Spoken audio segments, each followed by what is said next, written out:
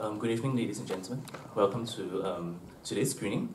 Um, this is the first program of our um, Asian Film Archives Reframe series called Screening the Forest. And before we begin the screening, I would like to uh, actually welcome um, the curator, uh, Dr. Graiwoot, uh, Chupung to come up here to give us a little bit of lecture and to introduce his curation and what it means to present the Asian cinematic forest. Yeah. So with that, I'd like to welcome Dr. Graiwoot Chupung Yeah, thank you. Okay.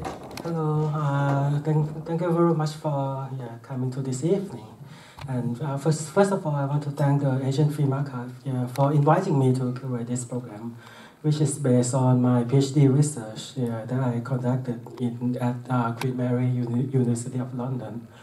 Today's session will be divided into three ac activities, yeah, starting with my 25 to 30 minutes lecture, yeah, and we will then see the short film program, yeah, and which is about 85 minutes, yeah, and following, following that, yeah, we will end with a Q&A with uh, the, direct, the directors, uh, Boo Junfeng and Pin, Pimpaka Towira. My discussion will be divided into two parts, yeah. Uh, to, to begin, I will provide an, an, an overview of my research, yeah, much of which will use language that is quite academic. Yeah. If you do not understand some parts or find it hard to follow, the overview will also in, introduce yeah, the themes in the program, yeah, which will give you a better understanding of the themes that will be screened tomorrow and on Sunday. Uh, since the turn of this century, uh, the forest has become a subject that fascinates the new generation of global art filmmakers. These are people who have chosen the forest as a space for their creative ex ex exploration. Yeah. Though it is not an official phenomenon, filmmakers have not written a group manifesto, nor have film critics or film scholars named the movement. The act of filming in the forest has become an artistic practice adopted by global art filmmakers. Key filmmakers in global art cinema have established their author status by presenting mysterious philosophically resonant images of the forest. Many of them, including Apichatpong Weerasethakul, Naomi Kawase, and Lisandro Alonso, have more than one forest film. In 2010 alone, the Asian cinematic forest took center stage at three of the world's most influential film festivals. Mm. The Berlin Film Festival, where Turkish director Semih Kaplanoğlu won the top award for Honey or Bao, the, the film on the top right. Yeah. The Cannes Film Festival, where Apichatpong Weerasethakul won the Palme d'Or for Uncle Boonmee, who can recall his past life, and the Venice Film Festival, where Tran Anh Hung bewitched the audience with uh, Norwegian Wood. The forest has not only been a recurring protagonist in the work of the individual filmmakers, but has also been explored by several cinematic movements in recent decades, mm, such as the Berlin School movement, and the so-called slow cinema movement. Lav Diaz, the key filmmaker of the slow cinema, is also a significant figure in the, in the new Filipino cinema, a movement in which many filmmakers express traumatic national histories by centering on the forest in those narratives. Of course, film scholars have already studied such films by applying various frameworks. For example, the above-mentioned themes have been studied with the concept of film and nations in mind. The result was that the themes were understood as a, a, a cultural work, being reflective of national characteristics and circulating beyond national border. They have also been studied through the lens of the authorship, yeah, which is a way to understand film in relation to uh, signature style of the directors Reception studies, gender studies, racial and post-colonial studies have also been investigated in regard to these themes. However, there is a tendency to marginalize the forest where, when these frameworks are used, because the main focus you know, is on the nation or the national border or the director or the film circulation, the gender, the race, the audience, yeah, but not the forest. Yeah. So the question is, if I use the forest as a point of entry, what should the framework that I adopt to study the film be? Hmm. Moreover, I inspire myself by asking how should I study the cinematic forest within the framework that has emerged in the film studies scholarship and humanities overall in 21st century. In other words, in my research, I, want to, I wanted to match the forest themes made since 2000s with the frameworks and theories that have emerged in film studies scholarship over the same period. Yeah. That's why I I look into the verse in the three turns of, of humanities. Mm. Throughout the past decade, the humanities have experienced uh, both the animal and the non-human turns. I use the term turns to indicate a paradigm, uh, an academic paradigm shift. Yeah. We are familiar with the idea that humanities are academic disciplines that uh, explore hu human society and human culture, whereas something that is not human, such as nature, yeah, we will yeah, left it out for the scientists and biologists yeah, to focus on. Yeah. However, in the past decade, yeah, there has been a growing numbers of researchers um, and new disciplines yeah, in humanities which question human specificity or explore the relationships between human species and other species. Mm. This includes the animal turn. During the animal turn, scholars in the humanities began to embrace the animal as an object of study. This turn began when traditional philosophy faced significant criticism from continental philosophers, including Jacques, Jacques Derrida, yeah, for, for perceiving animals in reductive and essentialist terms. Such critics prompted the humanities to reconceptualize various aspects of thinking about animals, including their modes of being, their relationships, or their, their relations with humans, their distinction or their indistinction from humans, and more general ideas of humanity, animality, and animal ethics. By some contrast, the non-human turn, which was heralded by Richard Grusin, emerged to define the host of critical and theoretical accounts, including uh, actor network theory, new materialism, speculative realism, plant studies, and new media theories. All of these approaches, though diverging in some in, in various degrees on, on multiple fronts, they all share the quest of post-anthropocentric ways of conceiving the world in which humans have not only never been modern, as Bruno Latour suggests, but have also never been human, what is this? Human has never been human. Mm. Instead of being a clear-cut autonomous form of life, the human, quote, ha has always co-evolved, coexisted, or corroborated with the non-human, end quote. Apart from the animal and the non-human terms, we also need to be reminded how over the last two decades there have been growing concerns and an, in, an increase in recognition of, of the en environmental crisis the time we live in has been redefined by geologists as the age of the Anthropocene, the epoch in which humans are the main driving force on the Earth system. Mm. Since humans are the driving force, mm, several disciplines, including humanities and film studies, suddenly have a new mission, which is to rethink the relationship between humans and the Earth in the face of the climate crisis. Linking the forest with these three turns, the animal, the non-human, and the Anthropocene, I gradually re re realized that the cinematic forest is, is full of promises. First, the cinematic forest is a good place to consider animal studies because some forest themes show a relationship between human and, and, and animals. Yeah. The cinematic for forest allows us to question the concept such as humanity, animality, and what happens when the two species meet or mutate into one. Second, the cinematic forest is also a good place to think about the relationship between humans and non-humans, as films about forests do not only have human characters and animal characters, but other forms of en entities and forces, yeah, such as uh, plants, dust, rivers, caves, stones, ghosts, lights, and darkness. Yeah. the, the, the cinematic forest becomes a place in which human characters and human spectators encounter non-human en, en, entities. The meeting between humans and the non-humans allows us to consider politics, ethics, and aesthetics that cinema used to engage with the non-human world. Third, with a sense of urgency caused by ecological disaster, the forest has become part of a lively dialogue about the relationship between humans and the earth, both today and in the future. Although I do not mean to imply that uh, from, e uh, from an ecological perspective, the forest matters more than other types of the natural environments.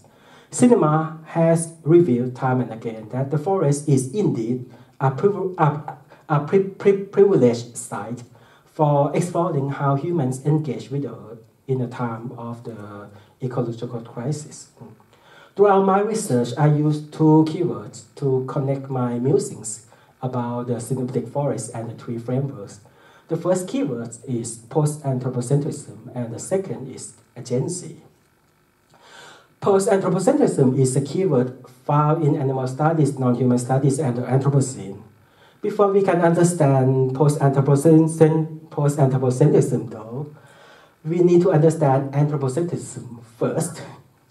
As a foundation, uh, the, the Cambridge Advanced Learners Dictionary defines anthropocentric as, quote, considering humans and their existence as the most important and central fact in the universe, end quote.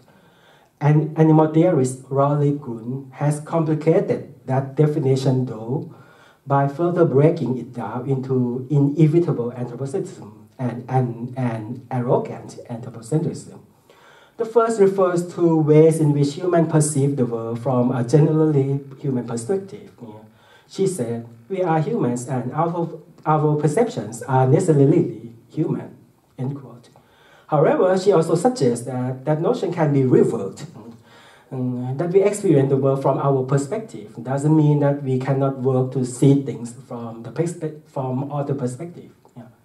In contrast, the second definition represents a type of human chauvinism hmm, and the ways in which humans do not only position themselves as the center of all things, but also elevate, quote, human perspective above all others. In my research, I discuss anthropocentrism in both of these senses by looking for ways in which the, the cinematic forest may have the potential for or encounter, or encounter limits to decentralizing both types of anthropocentrism. Cinema can be highly anthropocentric because it highlights the human experience and perspective above, above the experience and perspectives of the non-human beings. Moreover, of course, cinema is made by humans and is watched by humans, so it is anthropocentric through and through. However, what I am interested in is the way in which anthropocentrism in, is questioned or even terminated in a particular moment of cinematic forest films that result in a moment in which a vision of the world that is not human focused shines through. In other words, in my work, uh, I have looked for particular moments in which, uh, in films about the forest, that features moments in which anthropocentrism is questioned or terminated. For, uh, for example, the cinematic forest in Jet Leyco's Not a Soul, which we will screen tomorrow. Uh, in this film, it has a moment that presents the world from a perspective beyond that of humans. This film is, uh, in this film, the director explored the forest, which the, which the forest is a battlefield between two armed groups in, in, in the Philippines. But what the film shows is that in this forest, the world of insects coexists with the world of humans. The other example can be found in Apichatpong Weerasethakul's Worldly Desires, which we will also screen tomorrow. In this film, there is a moment in which we sense that we are seeing the film from the perspective of the forest. In another way, the cinematic forest can be post-anthropocentric in the sense that it champions the human and the non the human non-human relationship. When looking at Jin, the film that we will screen in the final day, the film that uh, there is a moment that acknowledges and attempts to understand the structure of life forms beyond human species. Ultimately, in the most radical way, the cinematic forest, in particular films, shows a version of the world that exists and operates without humans in it. The second keyword is agency. To think about the cinematic forest purely in terms of animal, non-human, and the anthropocentric and the Anthropocene studies, we need to rethink the notion of agency. The Stanford Encyclopedia of Philosophy defines agency as, quote, an agent is a being with the capacity to act, and agency denotes the exercise or manifestation of this capacity. However, in philosophy and the social science, agency is applied less broadly and typically in, in association with notions of intentionality and consciousness. Although the term is used differently, most scholars in philosophy, the social science, and humanities agree that agency belongs to humans this understanding of agency has resulted from a long-standing anthropocentric tradition in Western philosophy that understands humans as the only beings with consciousness and intentionality. Over the past decade, however, attempts to redefine agency in Western thought has cast doubt upon, if not subverted, the idea that of all things only humans possess agency. Instead of granting agency solely to humans, Various disciplines have extended the notion of agency to characterize an ability shared by various non-human forms, uh, whether it is uh, animals, plants, materials, and the like. More often, we read new research that highlights the consciousness of animals or that suggests that plants can communicate to, with each other. There is also a trend in philosophy that gives agency to objects and other forces as well. Situating the forest in this definition of agency, we find that the forest is a space full of agencies, whether or not it belongs to human. Cinema is also a good place to explore this new definition of agency. Why? Because cinema, since its, since its inception, has been an art form that, uh, that acknowledges the agency beyond that of humans. If we return to early cinema, uh, specifically the time before cinema was redefined as a narrative medium. We see that it is a medium that acknowledges non-human agency. One amazing example is uh, Baby's Dinner, one of the, the, the, the Lumiere brothers' first films. Mm. In this film, it depicts uh, one of the, the Lumiere brothers and his wife feeding their baby against a backdrop of trees blowing in the wind. The one-shot actuality films presents human in the foreground. Yeah. However, there is a record that what the spectators in those days, yeah, in nearly 100 years ago, what the spectators were fascinated by this film was not the baby, but the wind in the trees in the background. In a sense, that idea is the best manifestation of non-human agency on screen that even with our cinematic manipulation of space and time, cinema is a space that acknowledges the non-human lives. Moreover, we can find acknowledge, we can find acknowledgments of non-human agency in early film theory, specifically the theory of photogeny by Jean Epstein, the, the French uh, film theorist and filmmaker.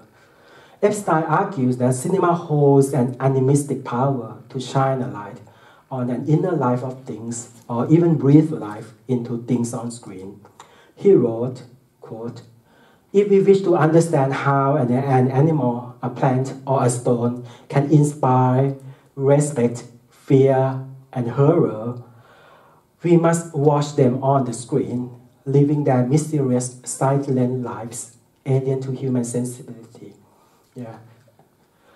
Thinking about the cinematic forest in light of this new definition of agency, the forest is not simply a lifeless background for human characters.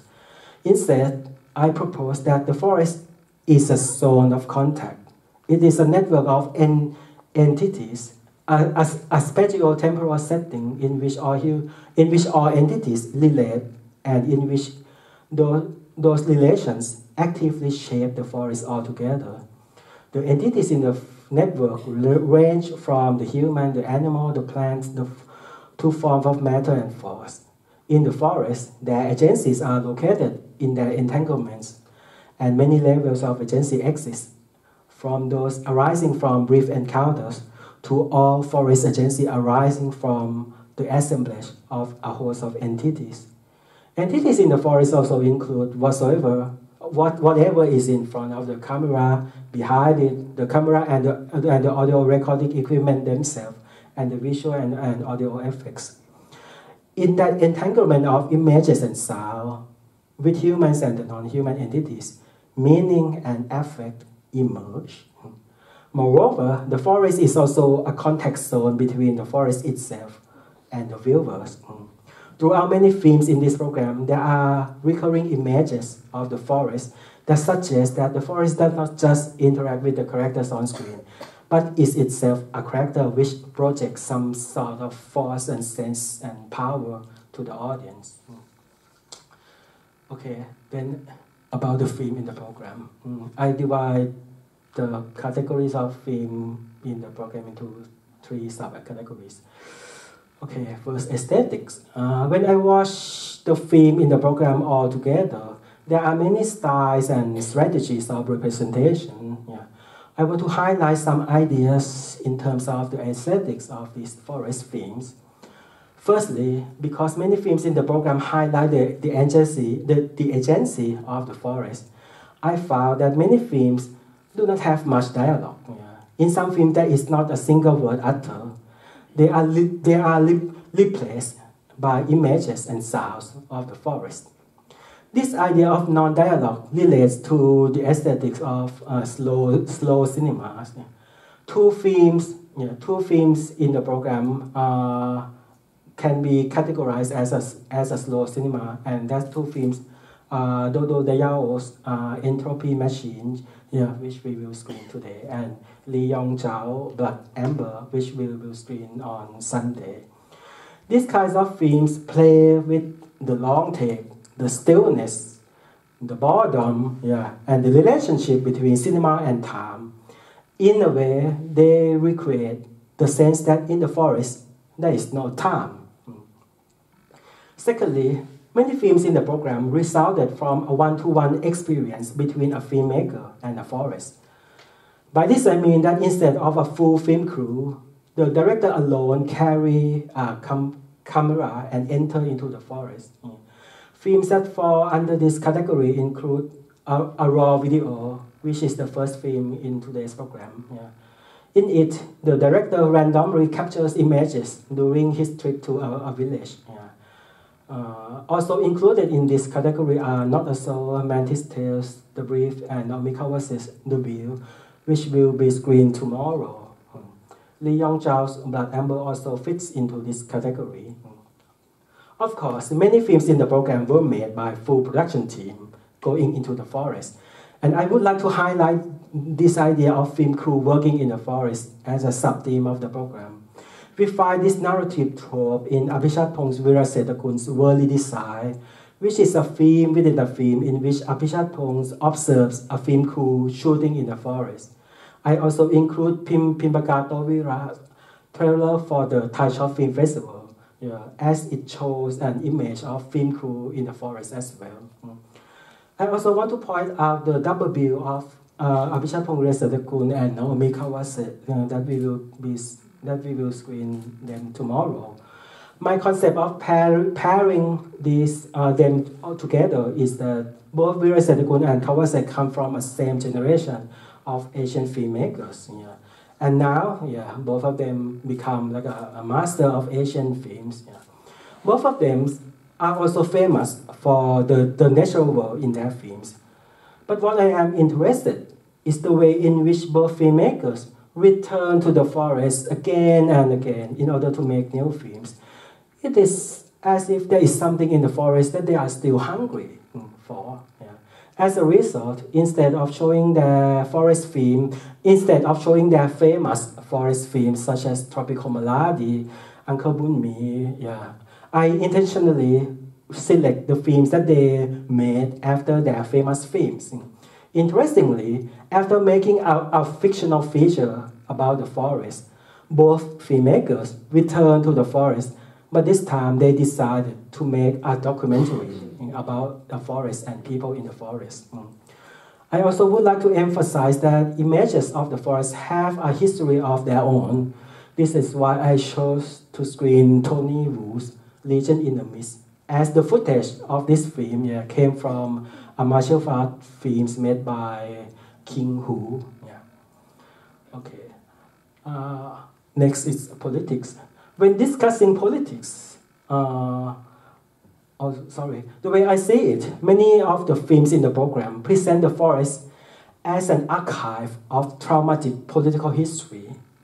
The forest, viewing in this light, yeah, the forest is a forgotten, is a forgotten crime scene, a world with a secret, a place for alternative memories, and a space for histories suppressed, sub suppressed or written off by the dominant trends in historiography. In giving rise to this theme, many films in the program echo trauma, the existence of the unspeakable, and a mode of remembrance that cannot be articulated. In today's screening, we will see this form of forest in Boo Junfeng's Mirror and Pimpaka Towira's The Purple Kingdom. And Nguyen Thi Landscape Series number one, which will be screened tomorrow. In these films, something has disappeared in the forest, yeah, or the forest hide something, yeah. The forest may preserve the body of a lover, a national hero, or a secret. We can sense it, but we cannot see it because the forest has covered it. Yeah. I, I would also like to mention the film by Kent Chan. Yeah, the, the title is Seni Act 1, 2, 3, which we will screen tomorrow. The film used the tropical forest as a place to reimagine Singapore's art history. The theme of the alternative history can also be applied to two films, yeah, which we will screen tomorrow. Uh, the film, the two films titles are Kamjon San Guan and An Invalid Throne. These two films are about a forest, mm, about the same forest uh, in Thailand being a politically resonant and commodified space. These two films were made by the same team of filmmakers, though one is a documentary and projected with a, with a, with, with a digital projection, and the other is a fiction and projected with a 35 uh, millimeter projection, mm, which is uh, a rare chance to, to see in this day yeah, it's a rare chance to see the full projection of 35 millimeters yeah, film. The final program, uh, Lee Yong uh, Blood Ambers, also deals with a political, also deal with political e ecologies. Yeah. The film is a documentary about Taiwanese people who travel to northern Burmese forest to work as miners. Mm. What makes Blood Amber different is the, the director's realistic sense, sense, sensibility. We sense that the filmmaker doesn't just make a film about miners, but he lives with miners for months. Yeah.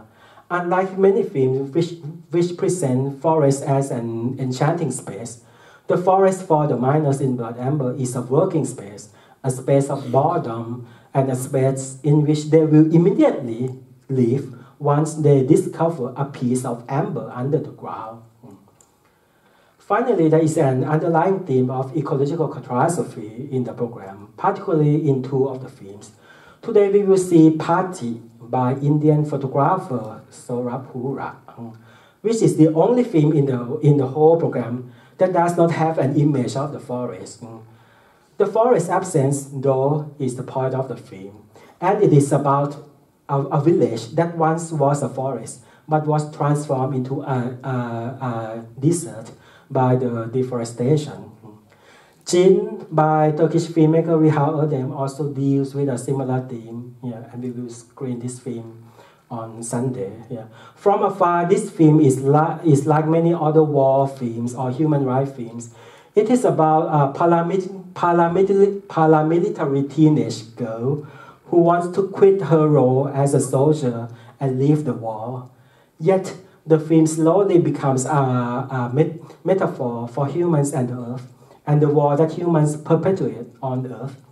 In many films about war, we see humans are the victims of the battle. This film, though, describes how humans, animals, and the forest share the stage as war victims. Okay, I think I talked enough. so, okay, uh, next we will screen the short film program and then we will, we will yeah, return with the Q&A. Okay, thank you very much.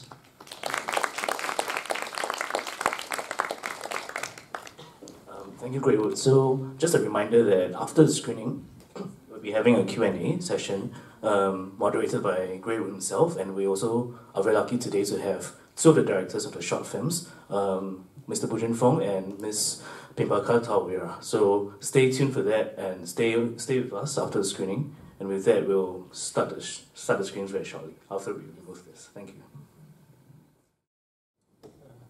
And can you talk a little bit about the the his, historical period that you play with yeah, in the in the film? Um, actually, I I'd rather not look at it in in history terms uh, or, or specific periods of history um, because I, I don't think that was what um, I, I sought to do in, in creating uh, the, the film. Um, for me, uh, as you were talking about earlier, um, how one experiences uh, the forest, um, for me actually, uh, before I became a filmmaker, uh, where I needed to go on location recce's and things like that and experience the forest as a filmmaker in, in search of locations. Um, I, I, I never used to be outdoorsy, so uh, my, my only experience with the forest was when I was serving in the military. Um, and so, so that, that the, the, the smell, the, the sounds uh, of the forest, uh, sometimes nowadays when I go on an early morning shoot in the forest, um, I, the, the smell and the sound still brings me back to the, the day I was enlisted and I, I had to um, be in the forest uh, as a soldier. Uh, and so, so it was very evocative that way when I was at Bukit Brown and, and what, I, what I wanted to do. And so, so the, the character of the soldier came to mind um, and also how timeless the space felt um, I wanted to just kind of mirror different realities that that forest or that cemetery uh, brought. Yeah. And uh, you have just said that for this work, uh, the the origin of this work is that you try to challenge yourself because you need to make a piece for the uh, Sing- Singapore Art Museum. But what what about uh, seeing the this version today? Because this like uh, re- returns to the or, orig- not not not original form, but it turned to the single screen form. Yeah, because at, at this moment, actually, this work can be viewed as a, as an installation, right? Yeah. At, in Gallery. Yeah. yeah, yeah. Um, actually, I, it's the first time I'm seeing it in the cinema. Yeah. Uh, I, I sent you the file uh, Yeah. because you asked to show it in the in, in the cinema, uh, and I've never seen it in this context before, uh, and I kind of regret putting credits to it because uh, it's not it, it just didn't feel right when the credits came up uh, because it was me it was me uh, with the idea that it, it will be perpetually on loop you know, um, because when he wakes up uh, again and then the thing just repeats itself and it repeats itself. So I, I kind of, when I saw the, the, the credit, I, I just, uh, like, I, I wish it just ended there.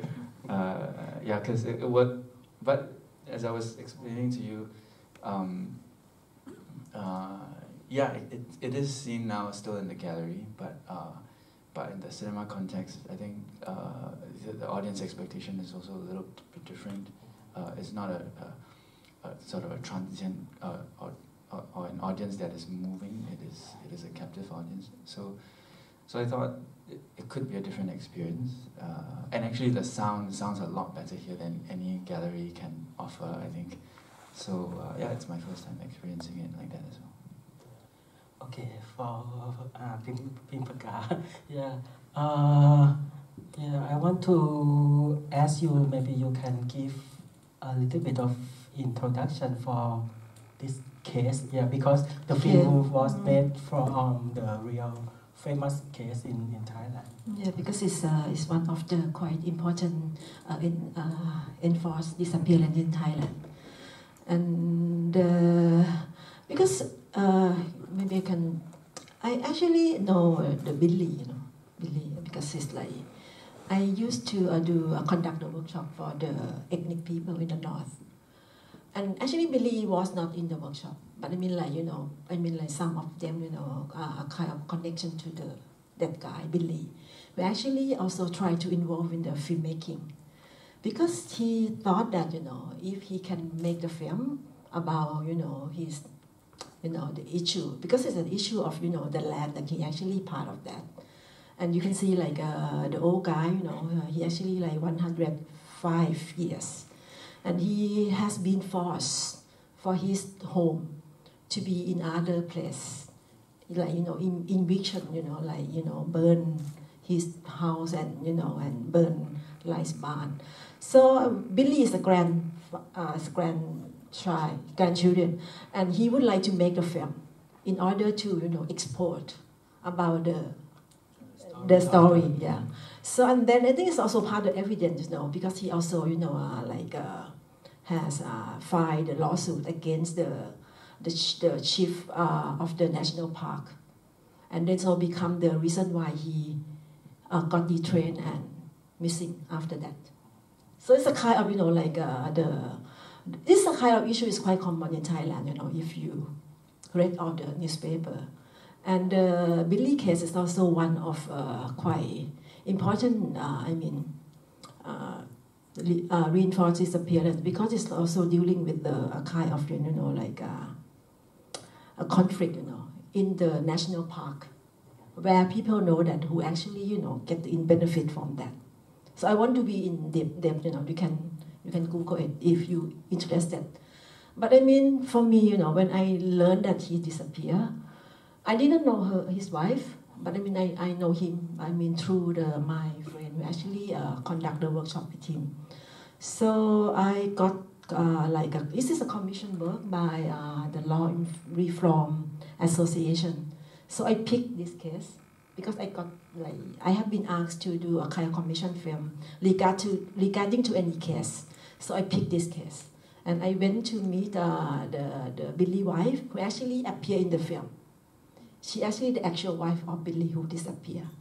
And I did interview with her, and then you know I spent time with her, and I think I would like to ask her to be in the film. And nobody thought that I can ask her in the film, because people quite because it's not it's quite risky for her, you know. And and when I asked her whether she would like to be in the film, she actually had to consult with the lawyer, because the case still going on. And then you know I you know the uh, so that's why you know the film look a bit like you know you might see a bit like a, a bit documentary at the same time the fiction.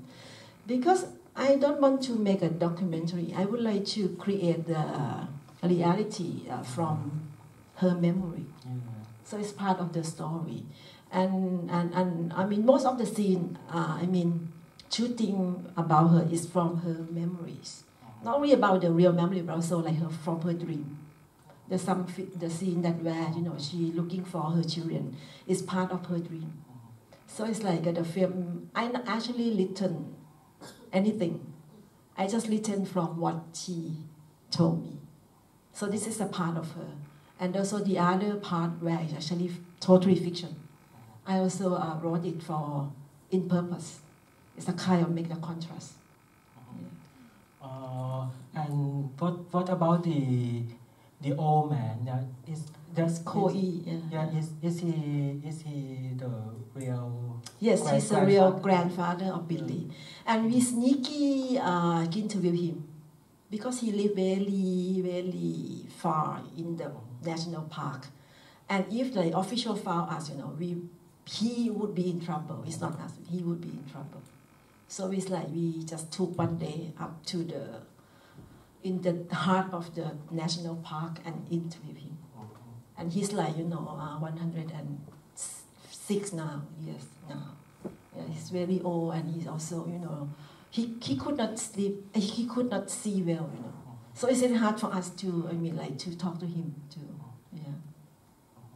And about about Bill, Bill, Billy's wife, uh, can you talk a little bit more about the the detailed process that how did you work with with her act, act, acting? Or or is mean I mean that you do you ex, expect yeah much from her? Or what do you expect from her in terms of uh, performance? I mean, in beginning, when I before I'm traveling to meet her in uh, in, in her home, I'm not so sure whether she can, you know, be in, in my film because you know what is I, I did some, you know, uh, I working with a non-professional before, and I know that it's very difficult, you know, when they in in front of the camera, they a bit like, I mean, conscious like to the camera. So, but why we talking? Why I, you know, spend time with her, and I thought she, she's a quite, uh, I mean, like she's very quite. I mean, the way that you look in the film is the way that I found her, you know. So it's like I, I quite sure, you know, after we spend time, and, and I and I thought and I'm quite sure that she can be in the film, even though it's she's a bit like, in the beginning she's a bit quite reluctant, you know, to to be on the screen. And then you know during the time of the you know the, during the process of filmmaking, she's a bit quite okay. And the thing is like because I think because she uh, ethnic like ethnic uh, person, so she cannot speak Thai. I mean like she has an accent. So for her, this is something that she a bit like not comfortable. And you can because you probably not understand, but I mean for us, you know, as Thai and you know ethnic people, and they they mostly they a bit like uncomfortable to speak accent in Thai. So it's something you can have a sense of that in her look. Yeah, yeah. Yeah. But I think she's so brave for me. You know, I'm, I'm, I mean, like I'm, and he, and she, like you know, because I'm, I never thought that she accept to be in the film Yeah. because for her it's really quite risky. You know, because the film could be part of the, the lawsuit. Yeah. Yeah, it's something that we have to be aware that. So we cannot use her real name in the in the film. So I asked her to, you know, to file the new name when she's, you know, telling about her. Yeah. Yeah. Yeah. Uh, can I change the subject a little bit into uh, how did you find uh, uh, the idea of filming in the forest? Because as as long as I know you, you have made so many films in the forest, and it's tomorrow uh, in Yeah, yeah. Ap- Ap- Apichatpong's film. Yeah, in that film, Ap- Pong invited Pim. Pimpaka to make a film in the forest, and then Apichatpong's make a documentary about Pimpaka's making film in the forest. I mean, honestly, I'm a bit quite afraid, you know, work, making a film in the forest, you know, because I'm, I, I think it's like forest is so mysterious, and, and I'm afraid of the animals, you know, and honestly, you know, especially snake. I'm a snake phobia. So, you know, it's like, you know, if, I don't know why, because it's, but it's not about, it's not, I mean, I'm not like, fascist, fascist, fascist I'm, I'm not like, you know, the forest not motivate me to shoot the film. But I mean the story wise and you know the character wise that you know uh-huh. moved me to be shoot the film in the forest. Uh-huh. That's what I found myself. And I don't know why recently I been I have been shooting a lot of short film in the forest. Uh-huh. Because of the I think it's because of the story and character. Because I yeah that and I think, you know, like that's why, you know, I'm when I portray the forest in my film, something that, you know, is a bit like mysterious, you know because this is something dealing in my internal. Because when I shooting, you know, I my crew know that you know what I fear.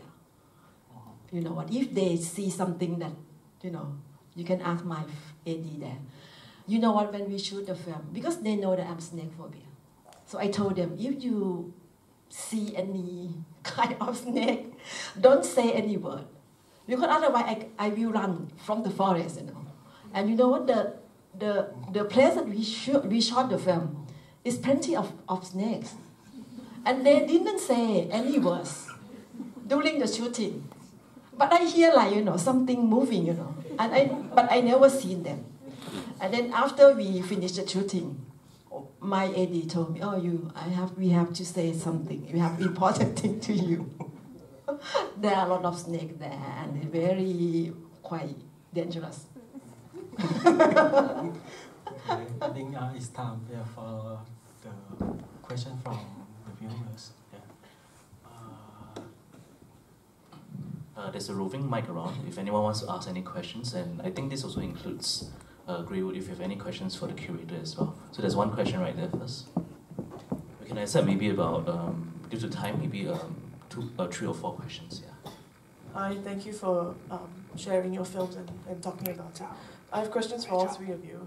Um, maybe I'll just I'll just say my questions briefly and then you can answer as you wish. Uh, Junfeng, your film, so it's very clearly something that you want as an aesthetic exploration or an experiment. Why did you then title it Mirror? Um, does it have anything to do with perhaps the autobiographical inspiration or maybe something else other than that? Aside from obviously the, uh, the framing of the, of the short film. And also I thought that it felt really more like a moment than anything else. And it started out nowhere and it ended out nowhere. And, and I know it's supposed to be in a loop, but why not drag it out further? There was so much more, I think, that um, I wanted to, to learn from it. So it was very absorbing in that way. So that's my question. And for Pimpaka, um, I think my question was uh, more to do with your decision maybe to, to add in a kind of very pop and light element to it, to what was a very heavy story. And, you know, strangely, and I think that's a lot of credit to your direction, it didn't take away at all from the gravity of the situation, the levity of that music. And so why did you decide to take that risk and uh, what measures did you take to make sure that it paid off? And uh, for Graiwoot, um, I look forward to the other films and maybe we can have a conversation about that uh, when everything else is over. So why did you pick um, such different films to put together for the first program? Um, maybe you can say something more about that. I'm particularly, particularly interested in the one with the three frames taken from, I, I, I assume what was martial art movies from Hong Kong. Thank you. I guess I'll answer first because my own, my answer is quite short. Uh, uh, well, I, I didn't know what to title it, so uh, and and I guess when you don't know how to title a work, you just think of it formally what what makes most sense, and I just called it a mirror because uh, it's it's actually in the gallery it was a two two projection uh sorry two channel projection, so it's on two walls that are 90 degrees. Uh, so if you were standing right in the middle, it actually does feel like a, a mirror, uh, a mirror image of, of one of, one of the, the other. So, so yeah. I think for me is uh, it's, it's like you know I because I don't want to make a, a kind of you know like a documentary film where you know we just see like uh, you know the the hardship of the the character, and I would like to I mean go. I would like to like you know to make a kind of contrast you know it's like because the the, the, the situation in Thailand you know it's not about the the issue, but it's about you who actually who you know. For, I, I may put it that way. I need to make the contrast, like you know, in the you know, some sometimes you have you have someone you know, like your love disappear, like uh, you know, the the current wife, who actually you know have a husband missing, and also at the same time, you know, also the a young woman who actually also lost her husband. But I mean, the way that both of them looking for their own love, you know, It's the way also, you know, how they can connect to the person that can help them. It's something like, you know, kind of, you know, like a represent a kind of Thai society. It's like, you know, who is the power that you can gain from the relationship. So something that I would like to make the contrast. So that's why I use the pop song. Because in order, like, you know, to make it more fiction, and more like you know like a like a fake you know tale it's like a fake tale you know something like that you know so that's why i make this kind of decision And I, I mean, honestly, I didn't like this song a lot. That's why I put that too. Yeah. Uh, for me, the okay, the question is that why I choose many many different styles of film to pack within one program. This this is not the first time that I program the films in the theme of the forest. Yeah, the last time that I programmed it, it turns out that I I chose uh, the films in the in that program. I they the the aesthetics in each film they are too too close to each other, and and it's like it it, it, it the films are all fused into one film. Yeah, for for the audience, it's like the audience cannot yeah, dif, dif, differentiate yeah, between one for another, which which I think it is uh, an in, interesting aspect. But for for this uh, event, because I have five slots, yeah. So for the first slot, I want to show like the the, the, the varieties that uh, and the audience can ex expect that okay yeah there are varieties and themes and styles. And especially for this screening I try to uh, I try to contrast one film with the next film with the next film yeah. Because i i am afraid that the audience will fall asleep or something like that yeah. So it's like you you can see that i i start with like a, a very talk, talkative film and then a, a, a very a very non-dialogue film and then a very talkative film and then a very non-dialogue film. So it's like i try to like shake the audience yeah up a little bit yeah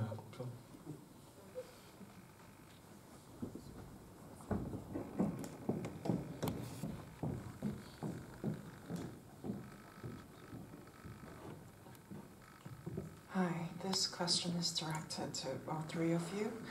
So, going by these current programs and with your own words that was shown here, I realized that there's a lot of violence that's going on, be it, you know, coming from the ambient, the sound, or, you know, even the way that it's filmed, the cinematography, or the thematic matter for Pimpaka's especially. It's very violent, even though it's very, so very quiet.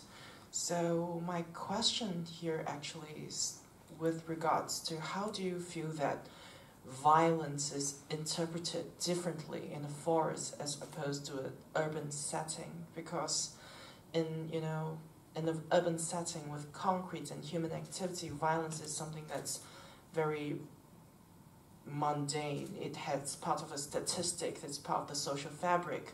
But in a forest where it is detached from humanity in a way, but also kind of intrinsic to its value as nature. Do you feel that this interpretation has a difference? And if there is, would you mind just elaborating on your take?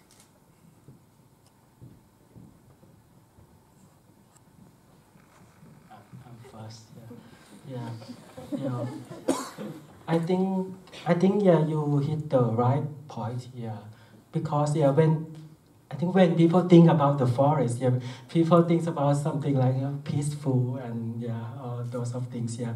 But when I look into films about the forest yeah and as as I uh, said in my lecture yeah in in many films about the forest yeah it becomes a films about a, a a crime scene. Yeah, it's like the forest become a, a crime scene, but but it is not as as as static crime scene because the, we need to think about the forest in relation to the the growth of plants and the change of yeah everything in the forest. Right? Yeah, in in a way the the texture of the forest yeah help to cover the the crime, yeah, and the, the growing of the trees can, yeah, if you lost something or if you uh, hide a, a, a corpse, yeah, you cannot find it because, yeah, it will, yeah, cover by the trees and then, uh, and then the, the body of a man will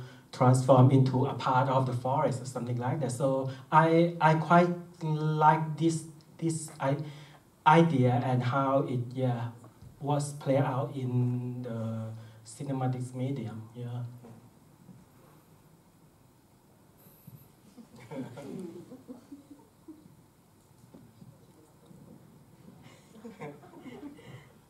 I think I don't know how to respond, but I what I found, you know, from the cases about the enforced disappearance in Thailand is like, you know, most of them, you know, disappear in the forest, and people believe that they either be killed and then you know the body probably like you know cover in the forest or you know like I mean like for example like for Billy case there's uh, some theory that you know he actually was killed in the forest in the national park.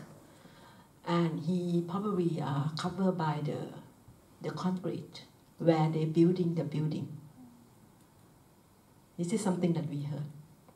And there's also several kind of, you know, like enforced disappearance in Thailand where they, you know, probably more violence than we thought. Maybe I can add more. Uh, for this question, I am thinking about my, my thesis. Actually, my, my research is not just only about the, the forest in Asian films here because I, I dedicate one chapter for the hol- Holocaust. Yeah, because yeah, in if you look into the, the history of the of the hol- Holocaust, um, all of the ex- extermination camp was built within the forest. Yeah, yeah, because the the, the Nazis plant the forest, plant the the the the pine trees, yeah, yeah, and to to protect, yeah, people or villagers to see, yeah, to see what they did in the camp, yeah, and and when and when the camp was dem- demolished, yeah, uh, the Nazis also grown a forest yeah, over the camp, yeah. So it's like you know, the forest become an agent that yeah help to uh, make the uh, help to e eradicate all of the e e evidence. Yeah, and I think yeah this this idea and what you ask here can yeah link to each other that the forest can be a very violent place. Perhaps just um, well, in in my work the I guess I was also responding a lot to um, the, the controversy of, of Bukit Brown being, um, I mean, all these graves being exhumed and, um, and what it was, uh, and the violence that was inflicted on a, on a space uh, that would otherwise be so tranquil, um, the, the, the supposed final resting place uh, of the thousands that were, were buried there. Um, and, and I just felt um, yeah, I just felt the, the injustice um, uh, of it. Um, and and also, I mean, as I was working on, on it, I did my research on what Bukit Brown was. It also it also used to be, uh, it was one of the last battle, um, uh, one of the bloodiest battles that led to the fall of uh, Singapore uh, to the Japanese. Uh, was there as well and and that also just led me to think about how timeless, um, or rather how, how, how historical. What what do we mean by a historical place? You know, and, and, and the trees and, and and the vegetation and the the, the, the life there had witnessed um, so much uh, violence uh, in its in its time, and and how in the coming years or months when I was making that that this this highway was going to be constructed right across it, uh, and yeah, that the ugliness of it, and that was part of the reason why I I, I thought of making it into a split screen too because um, because the that that line uh, right across uh, was was the only sort of inorganic uh, straight line uh, uh, that that that the viewer will experience. Uh, and so, and of course, in the gallery space, formally it allowed me to, to do that. Uh, so, yeah. Maybe we have time for just one last question if anyone has any last thoughts um, for any of the three of them today? Okay, this is one last one. Hi, um, I have uh, two questions. The first question is for Junfeng's work. Um, I'm just wondering, um, in terms of the direction that you give to the actor, because it's the same actor, but it's in a way he's playing two roles. What's the what's the direction that you gave to him in that scene when he met the body on the ground? And then for Pimpaka, my question is about: Can you talk about the significance of the um, the trees being the tree being chopped? Uh, actually, when I was working on, on this, I, I, I was constantly questioning uh, my craft uh, because first, I mean, I was given a completely different canvas this time than I was what I was used to. So, I, I, I wanted to open it up um, to to processes that I, I hadn't done before.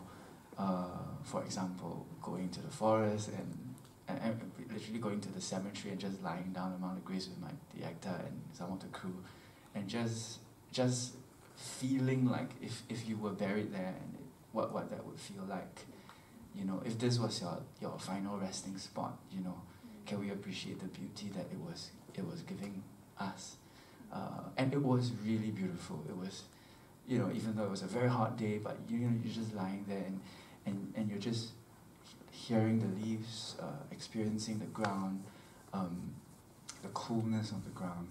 Uh, and it was so I so I, I think um, and then when it came to directing Irfan, uh, who is a, a, playwright, uh, but also a, a, I guess he acts for theatre and sometimes for videos as well.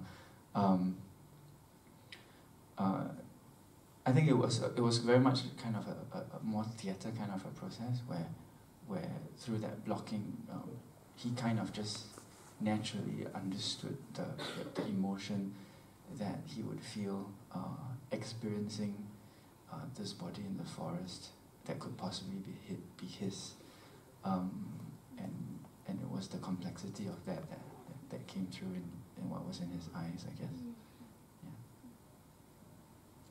Okay. Actually, uh, it's like I, I mentioned before, it's like, you know, the story actually is not from me. Actually, it's from, you know, the wife of Billy. So there are also some scene that, you know, also part of the, during we, we, we it's like we talking, not, not like interview. We talk, because I also lost my, you know, like, I just also lost my close uh, sister a few years ago.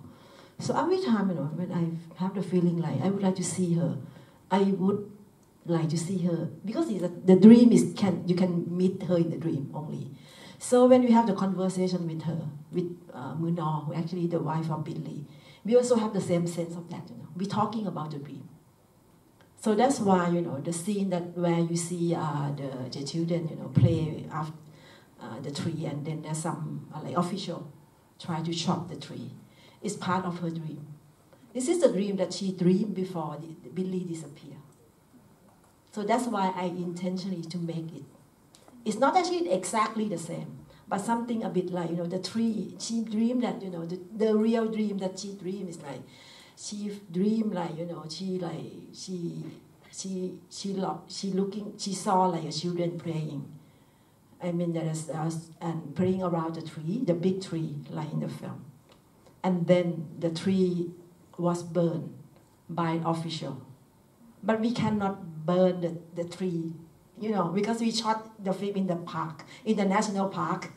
and we illegal shot the film in the national park. So we cannot burn the tree. So I share it like to be a kind of chopping on the tree. It's also part of her dream. Yeah. Okay, with that, um, um, of course, we are very proud that we presented um, Junfeng's Mirror today for the first time in a cinematic um, setting. We're also very proud that we actually got to premiere Pimpaka's films, including the trailer that you watched the crew doing stuff. and of course, the Purple Kingdom as well. And um, yeah, of course, Screening the Forest um, still has four more sessions over this weekend, tomorrow and on Sunday. If you're still interested, please tell your friends. Um, you can actually buy the tickets at the door, go to the website, see the lineup. Uh, brochures ran out, but you know you can always find online.